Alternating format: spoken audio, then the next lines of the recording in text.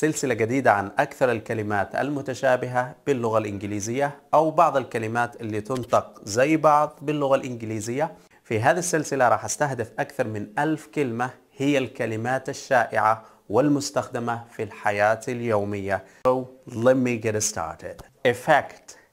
Effect. والكلمة الثانية هي affect. Affect. Affect. الكلمة الأولى effect. Effect. ومعناتها تأثير أثر نتيجة على شيء معين. The drugs have a great effect on your health. The drugs have great effect on your health. المخدرات لديها تأثير كبير على صحتك. I feel the effects of education on people's life nowadays. I feel the effects of education on people's life nowadays. أنا أشعر بتأثير التعليم على حياة الناس الأيام هذه. I have no effect on the current situation. I have no effect on the current situation. I have no effect on the current situation. ليس دي لدي أي تأثير على الوضع الحالي وكمان بإمكانك استخدام effect كفعل بمعنى يحدث أو يوقع أو يد يدخل شيء حيز التنفيذ. I have the ability to effect change in the children's behavior. I have the ability to effect change in the children's behavior. عنده القدرة في إحداث تغيير في سلوكيات الأطفال. This is the man who effected this victory. This is the man who effected this victory. هذا هو الرجل الذي أحدث النصر أو الذي جلب النصر. الكلمة الثانية هي affect. affect. affect. والكلمة السابقة هي effect. effect. هذا affect affect بمعنى يؤثر يؤثر على شخص أو يؤثر على وضع معين. You deeply affected me by your strong speech. You deeply affected me by your strong speech. أنت أثرت علي بشكل كبير بخطابك القوي. My channel has affected your life positively. My channel has affected your life positively. قناتي أثرت في حياتكم بشكل إيجابي. لأن الكلمة الأولى هي effect, effect, effect والكلمة الثانية هي affect, affect, affect, compliment, compliment والكلمة هذه compliment, compliment متطابقات في النطق بس يختلفوا بالمعنى. compliment بالآي معناتها يمدح أو يجامل أو مديح أو مجاملة يعني اسم وفعل. I want to compliment you on your new video. I want to compliment you on your new video. أنا أريد أن أجاملك أو أمدحك على الفيديو الجديد تبعك. I don't compliment rude guys. I don't compliment rude guys. لا أجامل الأشخاص الوقحين. وبإمكانك استخدام نفس الكلمة كمجاملة أو كمديح. I appreciate your compliment. I appreciate your compliment. أنا أقدر مديحك أو أقدر مجاملتك. I'll take it as a compliment. I'll take it as a compliment. راح أخذها كأنها مجاملة. I blushed at your compliment.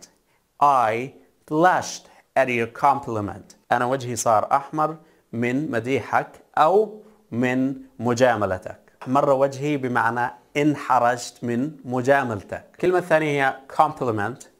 compliment هي نفس النطق بالضبط ولكن هذا بالاي معناته يكمل يكمل شيء آخر أو تكملة تستخدم كاسم تكملة برضو تكملة لشيء آخر. Sarah and Ellie compliment each other. Sarah and Ellie compliment each other.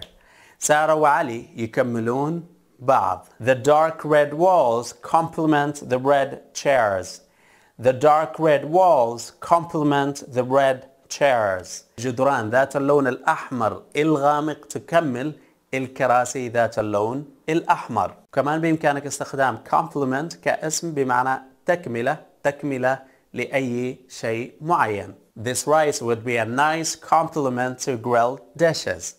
This rice would be a nice complement to grilled dishes. هذا الرز راح يكون إضافة جميلة للأطباق المشوية. He would be a great complement to the team. He would be a great complement to the team. هو راح يكون تكملة رائعة للفريق.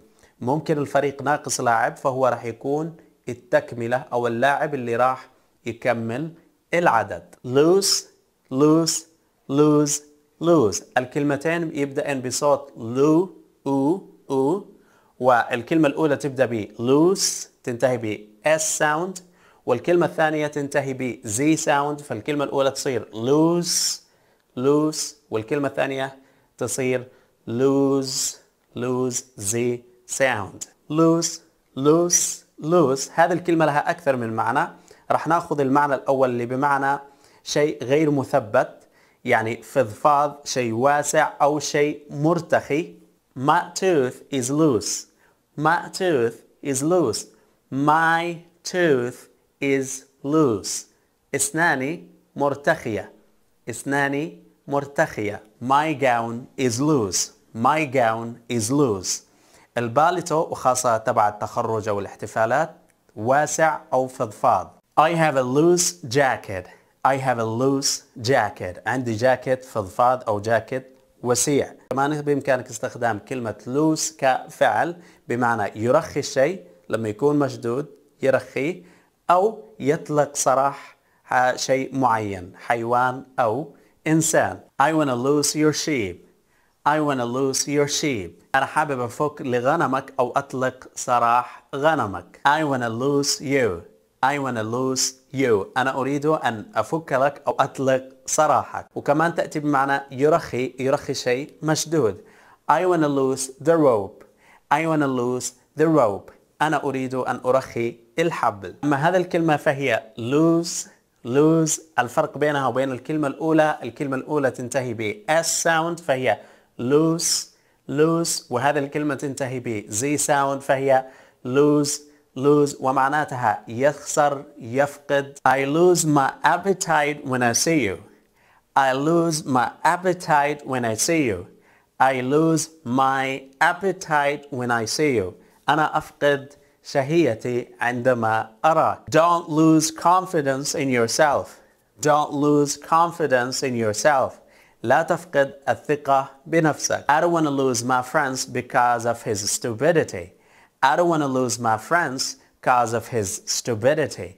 I don't want to lose my friend because of his stupidity. I don't want to lose my friends because of his stupidity. لا أريد أن أفقد أصدقائي بسبب غبائه. الكلمة هذه هي who is who is والكلمة هذه whose الكلمة الأولى who is إذا شلت الآي وحطيت apostrophe فتصير whose يصيران الثنتين زي بعض الكلمة الأولى لها استخدامين إذا أتت في بداية الكلمة تأتي بمعنى من وإذا أتت في وسط الكلمة تأتي بمعنى الذي أو اللي وتستخدم عادة مع الإنسان فقط Who's coming tonight?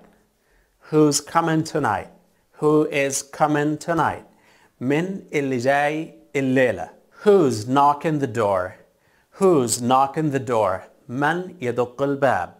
وهذا الكلمة إذا أتت في وسط الجملة تأتي بمعنى الذي أو اللي للأشخاص مثل ما اتفقنا فقط أو للإنسان فقط.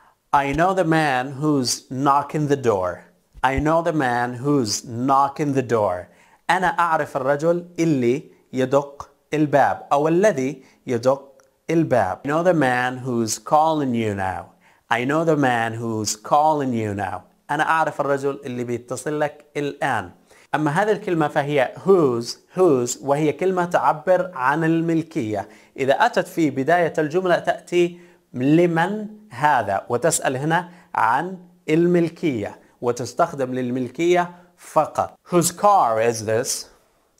Whose car is this? سيارة من هذه? Whose house is that one?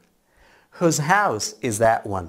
منزل من هذا? I met the man whose dad died last week. I met the man whose dad died last week.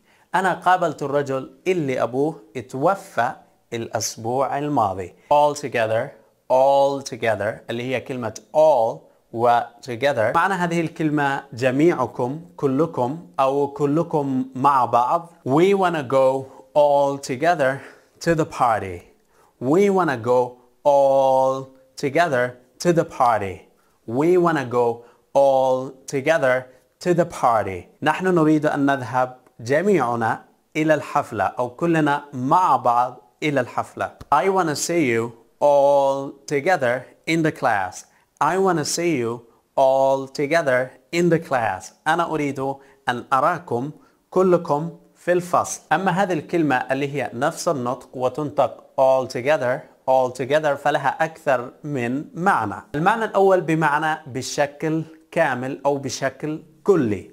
I wanna ban slavery all together. I wanna ban slavery all together. أنا أريد أن ألغي أو أنهي العبودية بشكل كامل. هنا ما ينفعش تقول جميعكم. أنا أريد أن ألغي العبودية جميعكم. فأكيد من خلال معنى الجملة راح تلاحظ أن معناها هنا بشكل كلي. وكمان تأتي بمعنى إجمالي قد يكون إجمالي عدد أو سعر. There are five people all together.